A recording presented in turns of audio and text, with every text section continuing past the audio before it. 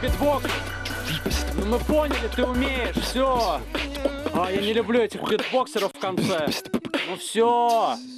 Я не люблю.